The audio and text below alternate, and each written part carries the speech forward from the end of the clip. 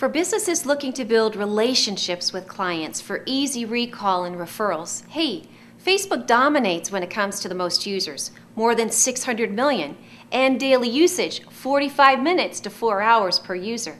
That's big.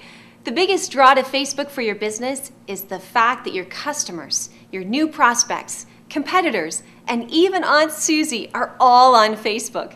Hi, I'm Donna Newman of WeBuildYourSocialMedia.com, and here's the bottom line. You want to work and play in the very space that everybody else is. First, when you design a custom landing page where your new visitors will first land, then your fan conversion is high. One out of four become fans to be exact, because they immediately see the value you add for them and know their time wasn't wasted. Second, when your Facebook posts are keyword rich and relevant, search engines will likely index your posts. As well, your fans will probably engage in your posts with their likes and comments.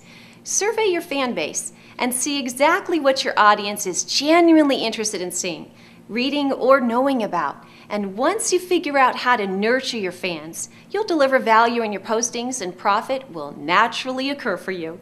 Third, your info tab is indexed by search. So be sure to write important keywords throughout your tab. For example, address, city, state, zip code are all important fields for local searches. As well, company overview, mission, and products are important fields for product searches.